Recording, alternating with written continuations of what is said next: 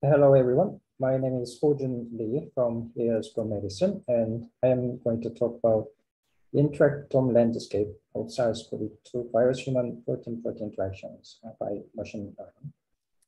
So there are two objectives I to talk about. The first is to develop the protein sequence-based multi-class machine learning or deep learning classifiers for evidence or confidence level prediction using the viruses STRING database. The second is to uh, using those classifiers, we want to create a draft interactome landscape of SARS-CoV-2 virus human protein protein interactions. So here is an overview of our machine learning and deep learning workflow. So we use the virus STRING database which does not include the SARS-CoV-2 at the time of analysis.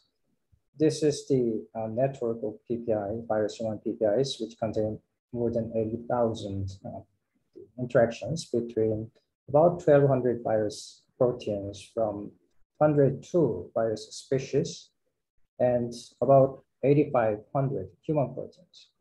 And each interaction has a combined scores uh, from ranging from zero to 1000, which we convert into five evidence classes pieces. And this is the distribution of number PPIs uh, for evidence classes.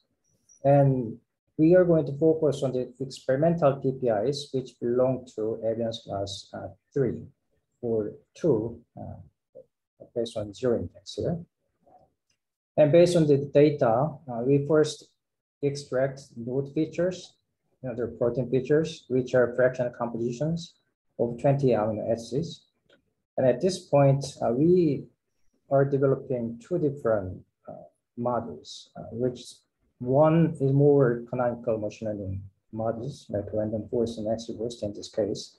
And another one is based on deep learning. We specifically use graph neural networks, so GraphSage or uh, generalized, generalized version of GraphSage or HinSage.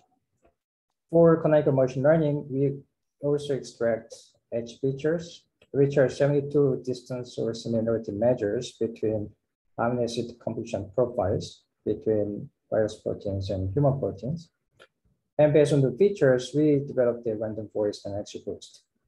For random forest, uh, we optimized uh, 36 models by grid search with 10 cross validation and 432 models for XGBoost case with uh, the same temporal cross validation.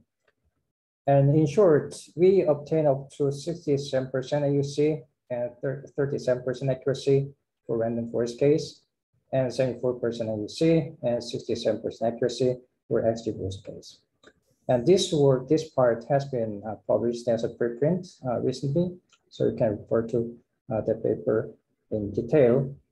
And for GraphSage, uh, we are still in manuscript in preparation, but I'm going to show you briefly show you uh, the results of, from GraphSage as well, because this shows more than 70% accuracy, which uh, apparently promising as well.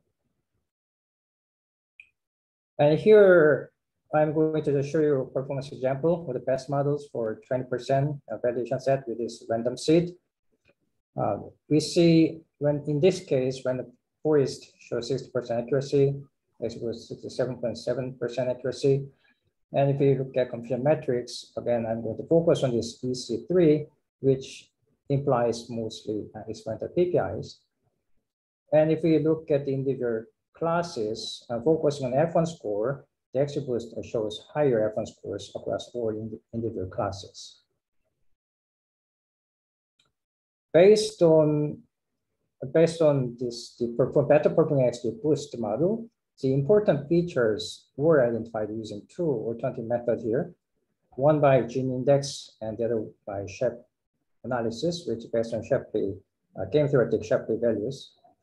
And interesting enough, we see that cysteine and histidine are most two most important features, where this minus means that the fraction of cysteine between virus and human, and the ratio means the ratio between the fractions, cysteine and histidine fractions between virus and humans. One control experiment we performed is to compare prediction of experimental PPIs and with a prediction of text mining PPIs in the virus STRING data. Because the data size, uh, the difference is uh, pretty big here, six-fold difference. But what we observed here is that XGBoost, in fact, uh, shows higher accuracy with 94% accuracy compared to 90% accuracy uh, for text mining case. So despite the data size difference, uh, XGBoost uh, shows a good prediction performance. And this is the agreement between random forest and XGBoost for EC3 and text mining, uh, as we expect, shows mostly EC1 or EC2. So based on those encouraging results, we applied uh, those classifiers to SARS-CoV-2 uh, for our second objective in two ways. So first, we apply that to IntAct data base, which are a collection of experimental PPIs. And here I'm showing you the network by XGBoost with XGBoost to predicted evidence. So EC3 for blues, EC4 red. So this can be viewed as prioritizing a network. So although these links, or the about 2000 links from experimental data are equally meaningful, we can also prioritize those links based on this evidence class predicted by XGBoost in this case. Uh, secondly, we also apply that to proteome-wide interaction, uh, pairwise, the all pairs of more than half a million uh, between 27 SARS-CoV proteins and uh, about more than 20,000 human proteins. And here I'm showing you the subset of 22,000 PPIs with evidence class at least two by either XGBoost, uh, the best XGBoost or random forest uh, star. And this is the another subset, 140 PPIs with the highest evidence class 5 by XGB, XGB star. And based on this interaction network, we observed that many human proteins are enriched in vascular smooth muscle contraction and the targets and also histone 2A components.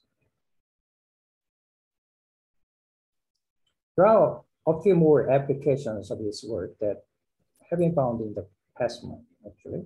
So Giuseppe Novelli, so who is a renowned geneticist in Rome, in Italy, uh, reached out to me by email, actually by surprise, last month after reading my preprint, telling me about his COVID therapeutics publication of HECT3 E3 ligases. And uh, his idea of using uh, the results from this important work to his ongoing research.